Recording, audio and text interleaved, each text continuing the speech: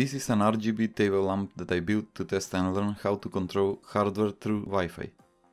There are tons of options when it comes to choosing Wi-Fi modules for this purpose, but for this project I got the cheapest ESP8266 that I could find at the moment which is named as Node MCU V3 on AliExpress and costs less than $2.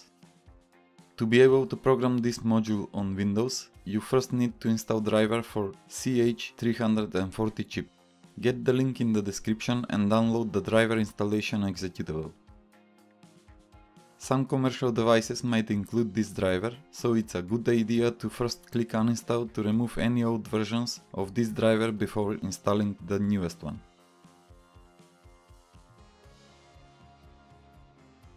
To be able to program this module using Arduino IDE, you need to install the board definitions for it.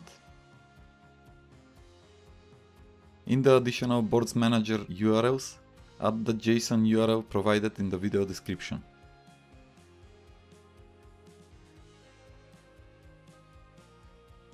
Then, in the boards manager, search for ESP8266 and install the ESP8266 Community Boards Definitions package.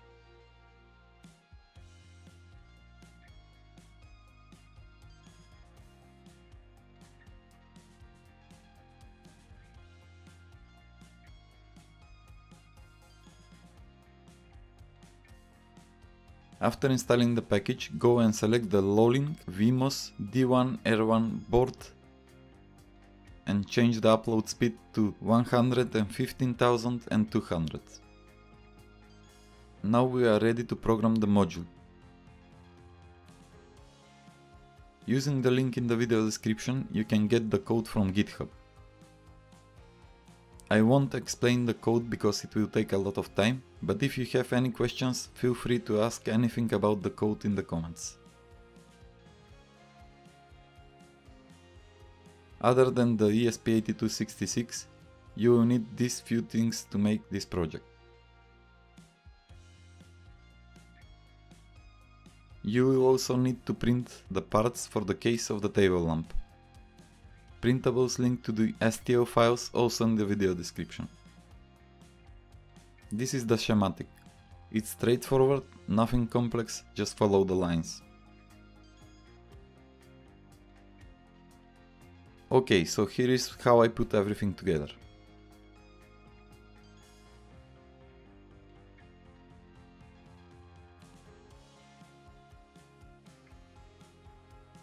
The white sheet that I used as a diffuser is just printing paper.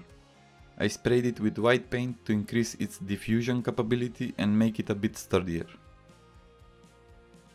I used cyanoacrylate glue to glue all the parts together and the diffusing sheet to the frame.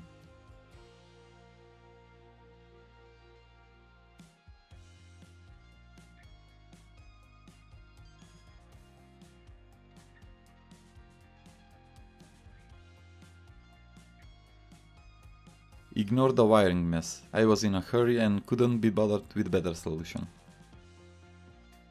Now that everything is ready, let me explain how to use and control the lamp. When you turn on the lamp for the first time, the blue LED on the ESP8266 will blink.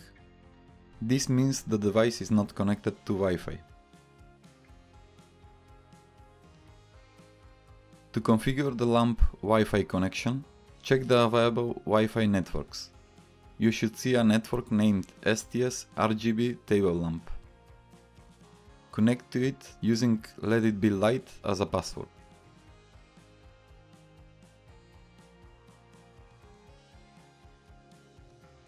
Once connected, open this IP address in web browser. This will show you the form where you need to enter the credentials for your Wi-Fi network. When you click connect, the lamp will restart and you will be disconnected from it. Then the lamp will connect to the Wi-Fi network that you specified.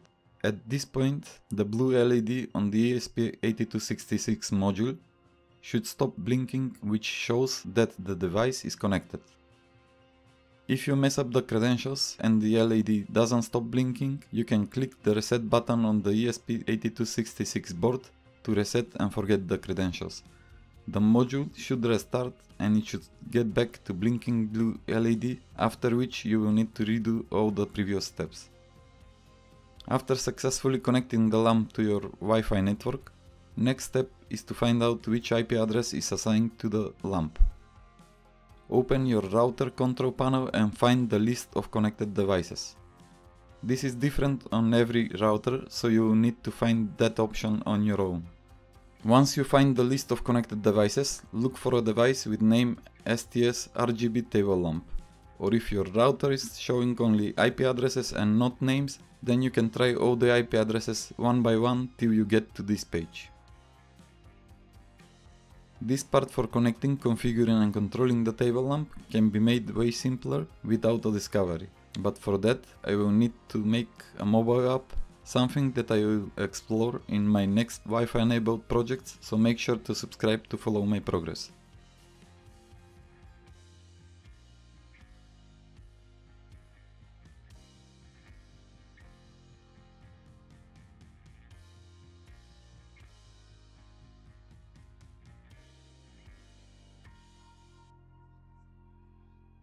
I hope you find this project interesting and useful as much as I did.